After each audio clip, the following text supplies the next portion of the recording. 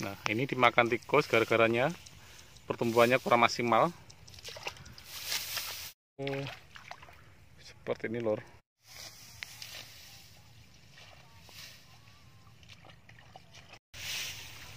Aduh, ini para petani menjerit selain apa namanya harga yang anjlok ini lihat petani menderita karena padinya dimakan tikus nah ini sawah seluas ini yang dipanen ini cuma dapat satu karung saja bayangkan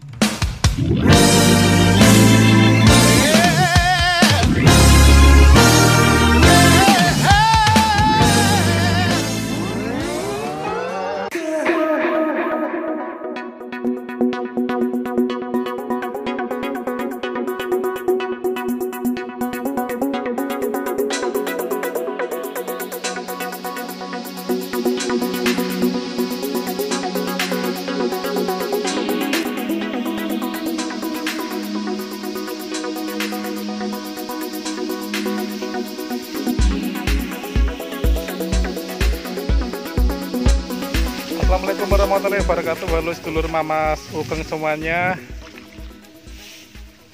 Aduh ini para petani menjerit Selain apa namanya isu impor beras Harga yang anjlok ini lihat Petani menderita karena padinya dimakan tikus. Nah ini sawah seluas ini yang dipanen ini Cuma dapat satu karung saja bayangkan seperti apa saya akan ngobrol-ngobrol dengan petani Pak Tris dari Kaliabu Mejayan Madiun Jawa Timur.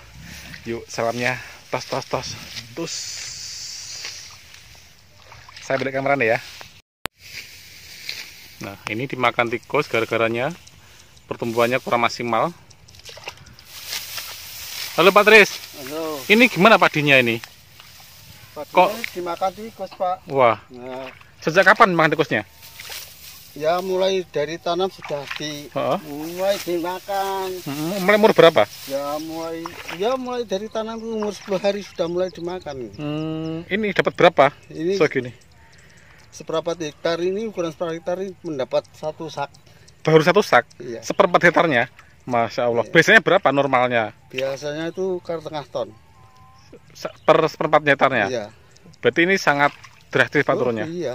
Kalau harga gabah gimana Pak harga Harga gabah terlalu anjlok. berapa 36 36 berapa 3.500 ya. per kilogram Per berarti kilo. Iya. oh Bapak namanya siapa Pak Trisno. dari Kaliabu. Kalebu Mejayan ya Iya. Madiun Iya. oke Pak ini nanti diapakan Tuh makan lembu. makan lembu Iya. wah lembu makanannya padi lur Ya, tuh Karena kopong ya? ada padinya kok. Hmm, lihat Pak. Pak kalau biaya, biayanya ini habis berapa? Mulai Dari pembajak, mulai tanam, mulai semuanya berapa Pak kira-kira? Ya, kalau kalau ya Hmm, berapa hektar ya sekitar ya, hampir 3 juta ini. Tiga jutaan Iya, biayanya ya, Biaya. mulai awal iya.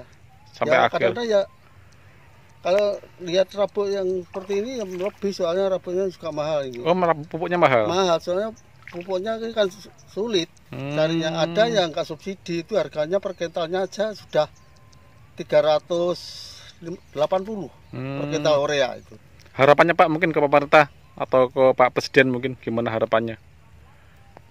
harapannya ya kalau bisa tuh padi harganya dinaikkan rabu kalau ya sesuai lah jadi kalau rabuknya mahal padinya harusnya harus mahal Hmm. Jangan- pupuknya mahal padinya murah ya orang tani bagaimana nasibnya Hmm, oke oke. Matur suwun Pak Tris. Hmm, lihat Pak, lihat Pak. Oh, kopong Pak ya. iya Ini sisa-sisa tikus berarti ya. iya sisa tikus Seperti itu